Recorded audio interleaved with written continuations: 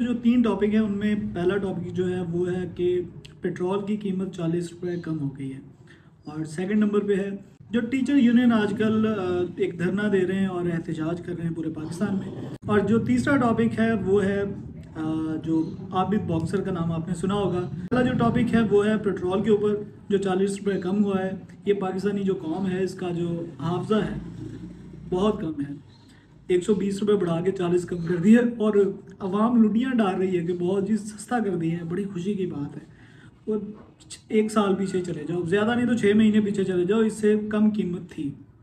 और जो दूसरा टॉपिक था टीचर्स का।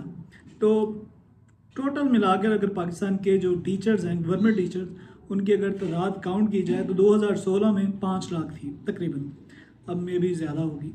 लेकिन इससे थोड़ा सा पीछे जाएँ, जब ये सियासी भर्तियाँ नहीं हुई थी। मैं इनको सियासी भर्तियाँ इसलिए कह रहा हूँ कि हज़ारों से लेकर लाखों तक काम कैसे पहुँच गया इतनी टीचर भर्ती कर दिए गए अब इनकी हम सैलरी काउंट करते हैं। सैलरी एवरेज होती है इनकी तकरीबन पैंतालीस हज़ार। क्योंकि कुछ टीचर्स की लाख के करीब है और कुछ की पैंतीस हज़ार है तो हम एवरेज निकाल लेते हैं, पचास हज़ार। पाँच लाख टीचर, पचास हज़ार सैलरी। और आउटकम क्या है? हम में से आज गवर्नमेंट के जो इदारे हैं उनमें से कितने इंजीनियर पैदा हो चुके हैं? कितने साइंटिस्ट हमने पैदा कर दिए हैं? इनके जो टीचर्स के अपने बच्चे प्राइवेट स्कूल में पढ़ रहे होते हैं ये इनकी म्यार है। अब टीचर ये आ, कहते हैं जी बाकी इदारे भी तो ख़राब हैं।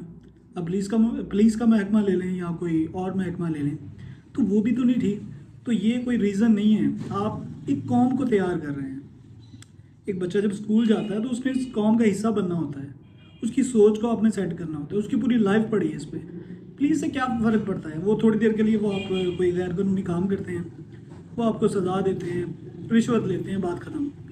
लेकिन अगर एक बच्चा नाकाम होता है तो इसका मतलब है उसका पूरा फ्यूचर और उससे पूरा ख़ानदान उसका ख़राब कर दिया आपने।